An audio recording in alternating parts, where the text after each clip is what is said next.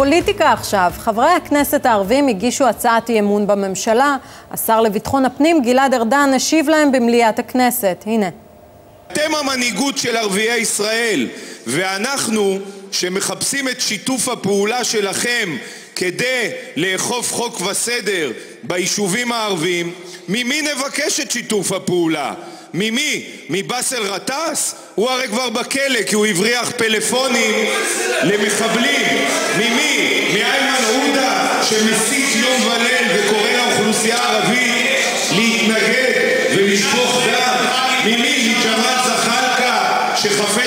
שחפץ בחיסולה של המדינה היהודית?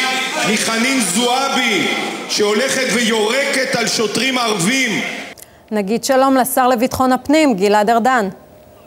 ערב טוב, דנה. חברי הכנסת הערבים טוענים שאתה מסית נגדם מעל בימת מליאת הכנסת כדי לחפות על אי אכיפת החוק במגזר הערבי. מה יש לך לומר להם?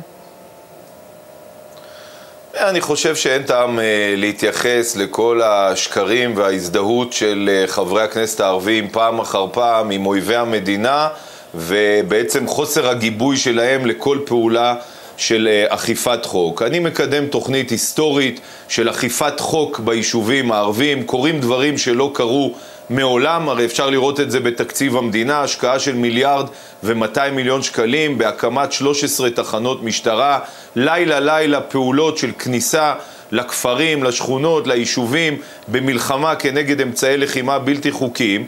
וחברי הכנסת הערבים, כהרגלם, במקום לגבות את אכיפת החוק והסדר, הם אה, מעדיפים להסית, הם מעדיפים להפנות תמיד את האצבע המאשימה כלפי הממשלה. הרבה יותר קשה להם כמובן לסייע לגורמי אכיפת החוק, לצאת כנגד רמת הפשיעה הגבוהה בחברה הערבית, ואני ממש מצטער וכואב את כאבם של אזרחי ישראל הערבים. אני מקווה שהם יפיקו לקחים, ובפעם הבאה יצביעו לא לחברי כנסת שמייצגים את האויב, אלא לכאלה שמצ... שדואגים להם ולרמת ואיכות חייהם.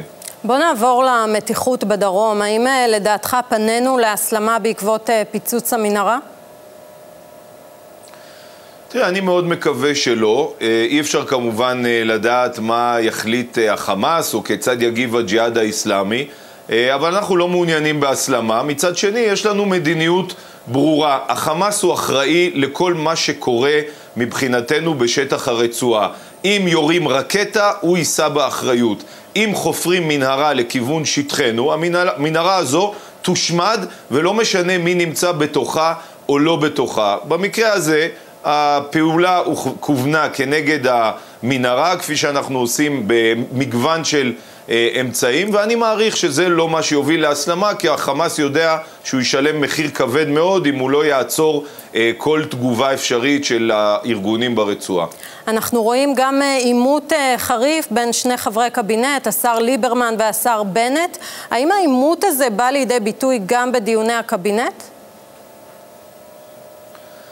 אה, לא. דווקא בדיוני הקבינט אני מרגיש שהדיונים הם מאוד ענייניים ורציניים.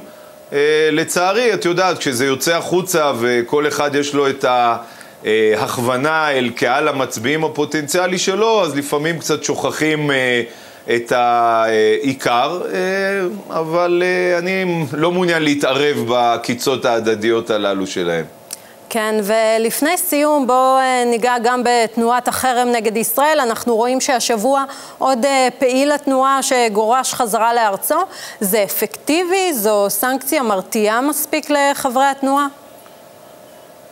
היא מאוד אפקטיבית, והמדיניות שלי לא רק בביטחון הפנים ובפעילות האכיפה המשטרתית, גם במאבק נגד מחרימי ישראל. המדיניות תמיד חייבת להיות לעבור ממגננה למתקפה, לא לתת לאויבים שלנו להגיע לכאן, להיכנס לתוך המדינה, לאסוף פה חומר, לעוות אותו ואז להסית ולשקר בעולם כנגד מדינת ישראל. מי שבא לכאן כדי לפגוע בנו ובאזרחינו פשוט לא ייכנס למדינה או יגורש ככל שאנחנו נדע זאת מראש או נוכל לאסוף לגביו מודיעין. זה קורה, זה מצמצם משמעותית את הפעילות של ארגוני החרם ולא במקרה יש לנו הרבה מאוד הישגים בשנתיים האחרונות, חוקים שמקודמים בעולם כנגד החרם, החלטות בהרבה מאוד אה, פרלמנטים והנה בשנה האחרונה גם שברנו שיא של כל הזמנים בכמות ה...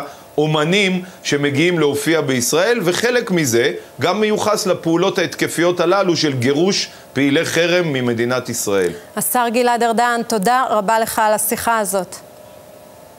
תודה, דנה, ושיהיה המשך שבוע שקט.